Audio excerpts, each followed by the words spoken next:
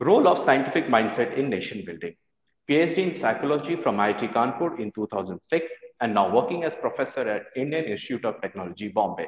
Yes, we are talking about our guest today, Professor Azizuddin Khan, in our chat show, Hustle with Haque, Dignified and Graceful. He has around 75 publications, three books, and edited chapters around 10.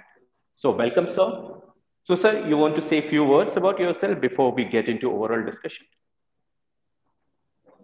Uh, nothing much, but uh, I would like to thank you and especially that hustle with Haque.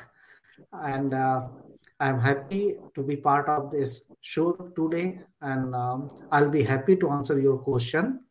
So you you may begin. Thanks a lot, sir. Thanks a lot.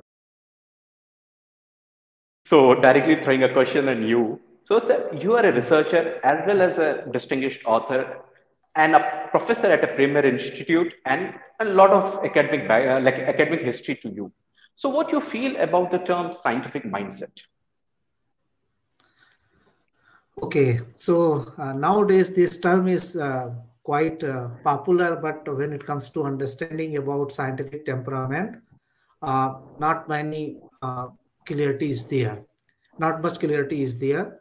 Scientific temperament means you have to have uh, uh, mental set where you have to question each and everything, uh, which mm-hmm. should be based on our rational faculty.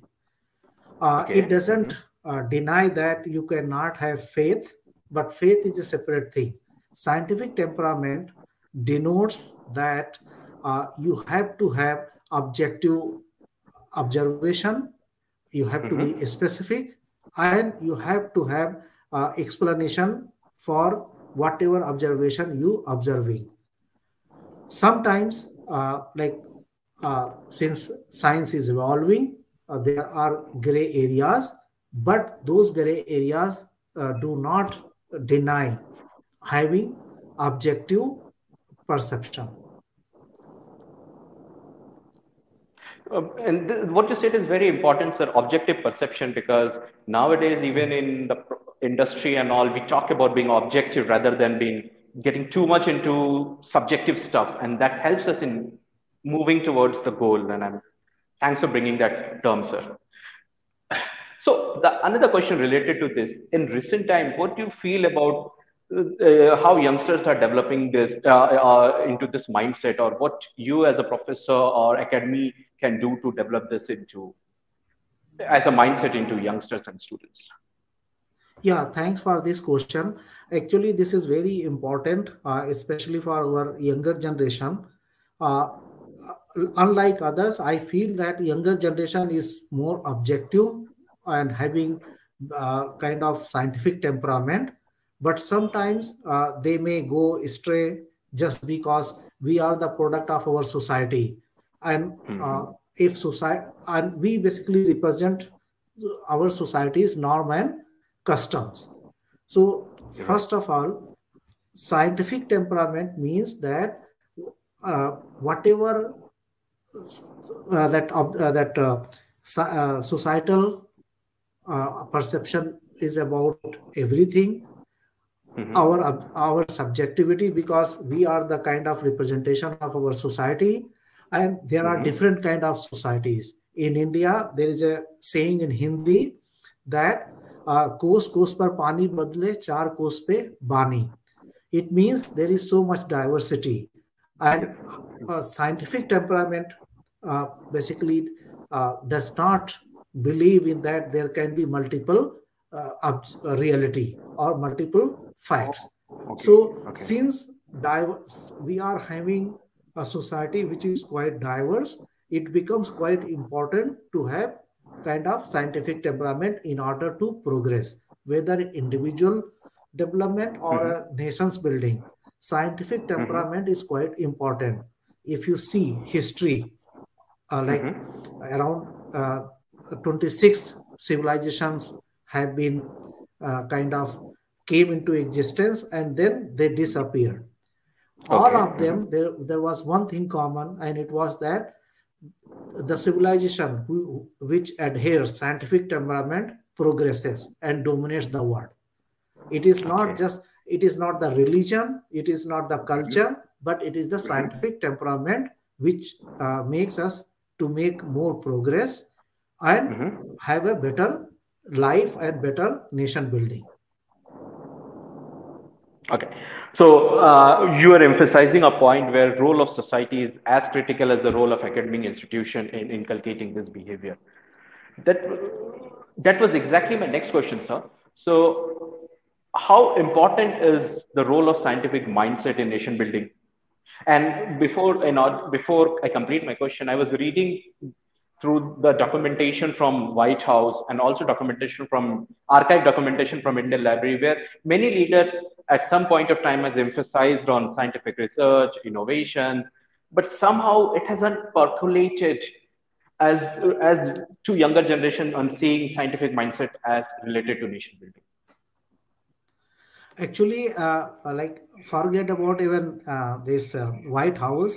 Our mm-hmm. constitution enshrined mm-hmm. this objectivity to like mm-hmm. in our uh, fundamental uh, duties that one should strive to have scientific temperament uh, because our uh, that kind of forefathers they have uh, rightly recognized that until unless uh, we are not progressing or we are not behaving in a scientific manner progress will not be there if you see current world those countries who are progressing in a scientific manner, those who are having scientific temperament, they are basically mm-hmm. progressing.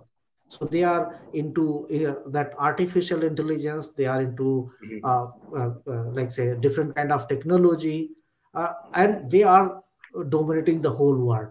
Uh, we are talking English. It is because those countries who are who mm-hmm. are having scientific temperament at that specific moment in time they were mm-hmm. speaking mm-hmm. uh, english and due to this scientific temperament the english mm-hmm. language became quite prevalent throughout the world once mm-hmm. upon a time same situation was for the persian and arabic especially mm-hmm. uh, like say medieval period the scientific language was uh, english oh sorry arabic why it is why it was the case because that time uh, arabic word was uh, uh, progressing on the basis of science and technology.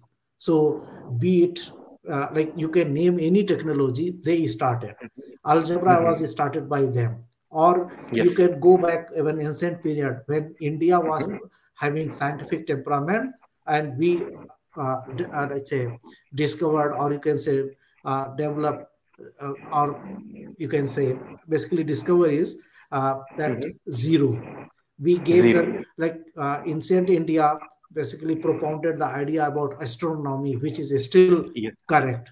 So mm-hmm. it was because they were progressing on the basis of or taking into account of scientific temperament, objectivity. Oh, wow. uh, they were not uh, uh, like say progressing on the basis of subjectivity or cultural factor. So uh, science or scientific temperament is a unifying factor so whether mm-hmm. person sitting in Mumbai or mm-hmm. Manhattan, they mm-hmm. will be having a similar platform.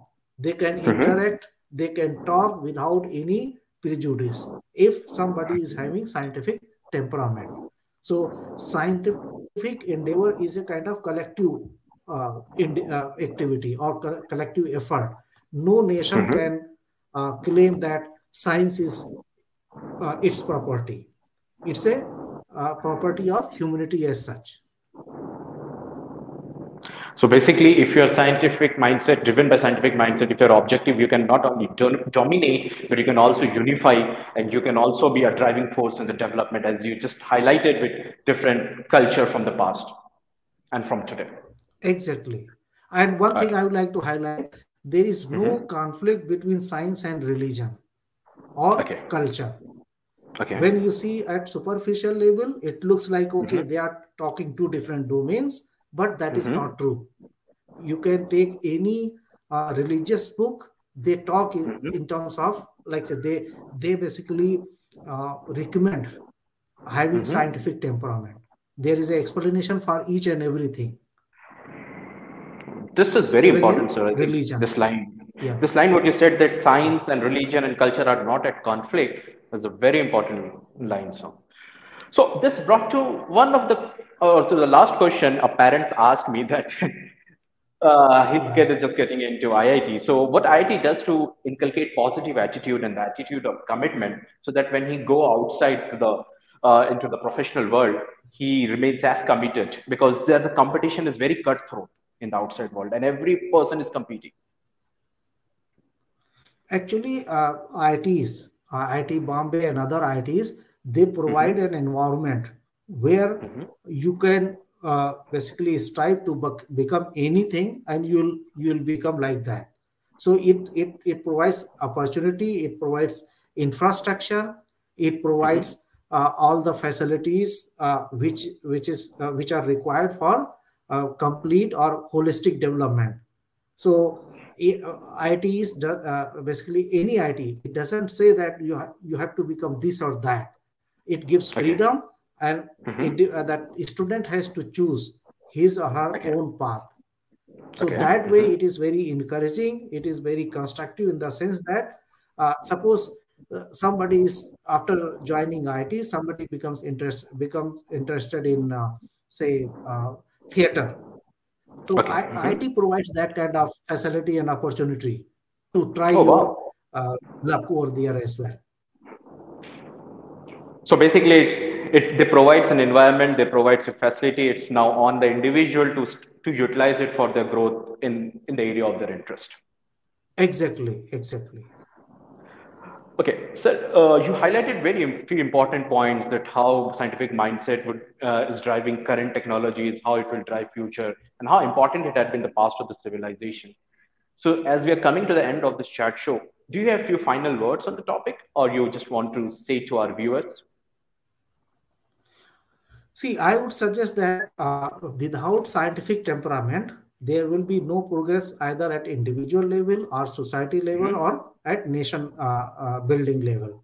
So mm-hmm. every individual should strive to be objective, to be. Uh, uh, like assess each and everything on the uh, scientific basis. Actually, in some corner, mm-hmm.